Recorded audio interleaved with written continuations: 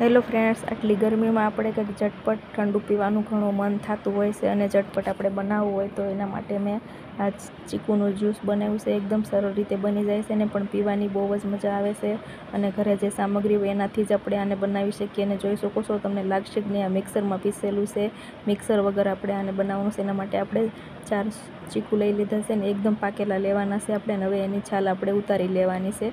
આ રીતના બધી છાલ મેં કાઢી લીધી છે અને મિક્સર ગ્રાઇન્ડ ન હોય ને તો આ બધાના ઘરે મિક્સર ન હોય તો આપણે આ રીતના જુગાડ પણ કરી શકીએ કે જે આપણે ઓલું મેશર આવે ને બકાલા જેમ આપણે મેશ કરતા હોઈએ, એ મેશર આપણે એક લઈ લેવાનું છે અને એમાં આપણે નાના નાના ટુકડા કરીને આપણે ચીકુના એમાં નાખી દેવાના છે, નાના નાના ટુકડા કરીને રાખવાના છે.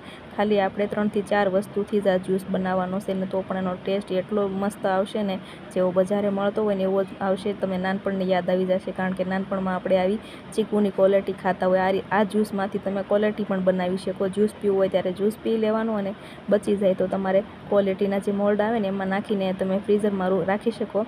એટલે મસ્ત એવી ક્વોલિટી પણ બની જાય. હવે આ રીતના આપણે મેં બધા બી કાઢીને એમાં ઝીણા ઝીણા ટુકડા કરીને મેં એમાં નાખી દીધા છે. આ રીતના મેં બધા શીકુને સુધારીને હવે હવે આપણે આને પીસી લેવાનું છે. અને આમાં એકદમ મસ્ત ઝીણી એવી પ્યુરી થઈ જાય છે. તમને લાગશે કે નહીં, મિક્સરમાં આપણે દળેલું નથી એમ. આ રીતના આપણે એને કરી લેવાનું છે. જો તમને આ રેસીપી ગમી હોય તો ચેનલને સબસ્ક્રાઈબ કરી દેજો.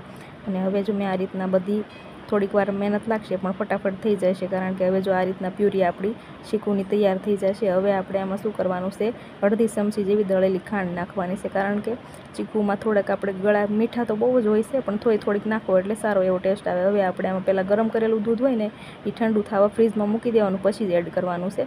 હવે આપણે આમાં દૂધ નાખી દીધું છે, એક વાટકી જેટલું. તમને ઘાટી, ઘાટો જ્યુસ ભાવતો હોય તો ઓછું દૂધ નાખવાનું, પતલો ભાવતો હોય તો થોડોક ઓછું વધારે નાખવાનું. હવે આપણે આને ગાળી લેવાનું છે ને હવે આપણે આને આમાં ઉપરથી બદામ અને દ્રાક્ષ ઉકલ નાખવાની છે ને હવે આ રીતના આપણે સર્વ કરી દેવાનું. ફટાફટ આપણે મહેમાન આવે ત્યારે આને પણ આ રીતના બનાવી શકીએ અને જોઈ શકો છો તમને લાગશે નહીં, મિક્સરમાં નથી કાઢેલું, એટલું સરસ ઘાટું એવું આપણું ચીકુનું જ્યુસ તૈયાર થઈ ગયું છે. અને તમને જો આ રેસીપી ગમી હોય તો પ્લીઝ મારી ચેનલને લાઇક શેર અને સબસ્ક્રાઈબ કરી દેજો.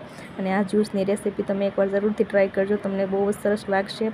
અને આવી ગરમીમાં આવો જ્યુસ તમે ક્યારેય નહીં પીધો તો ટ્રાય